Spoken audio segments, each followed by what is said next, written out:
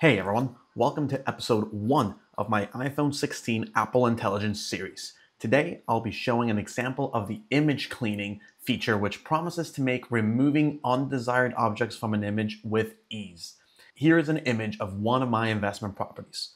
We'll select the bottom right icon to open up the image edit options.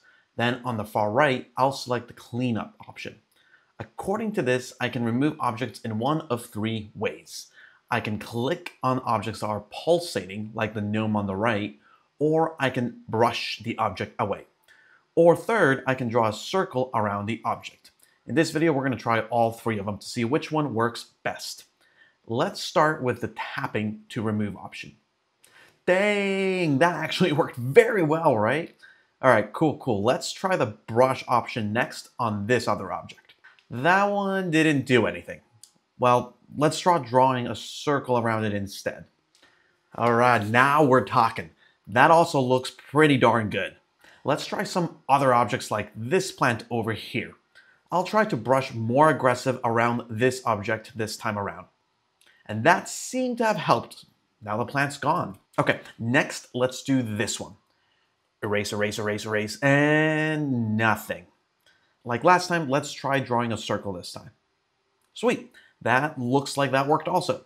So what I'm noticing is that drawing a circle around the object is working much better than brushing it away. Now, what you're noticing here is that for some reason, sometimes the pinch to zoom in or out doesn't seem to be working well for me. Not sure why, but if you see random brushing, it's because of that.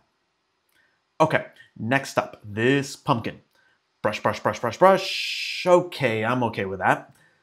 That's another pinch to zoom fail. Got to figure out why that's happening. Okay, let's do a larger object this time.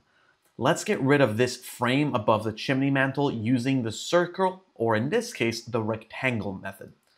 And dang, that looks great. I'm actually really impressed it did this good of a job. Sure, it's not perfect, but much better than what I expected. Well, that's it for this quick Apple Intelligence feature, folks. If you found this content useful, please consider liking, sharing, and subscribing for more similar content. And if you're interested in other topics, such as do-it-yourself projects and repairs, real estate, or finance, go ahead and subscribe to my channel. Thanks for watching. Until next time.